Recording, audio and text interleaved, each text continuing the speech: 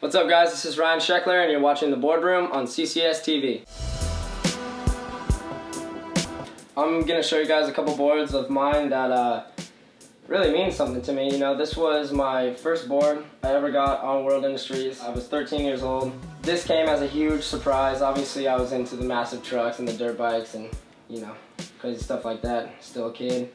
Um, but yeah, dude, I don't know. My mom actually had this board think this is the only one that we have in our family, so uh, pretty special, pretty cool.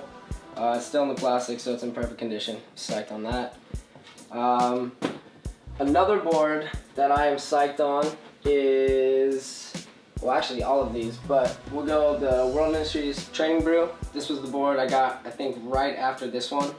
And it was just super funny because the whole team had all their you know favorite beer brands and I had to get the uh, the training brew but uh, I'm glad they included me anyway so that's cool. This girl board is a Jeremy Rogers board and somehow I got on it and it's really funny. I really appreciate that. That was cool. That was a good surprise from them.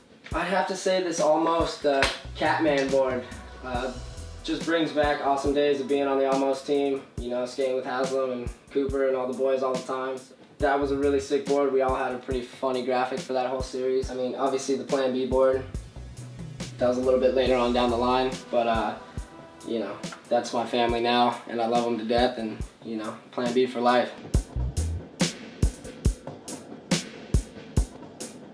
That's the boardroom. So I hope you guys liked it, and uh, see you later.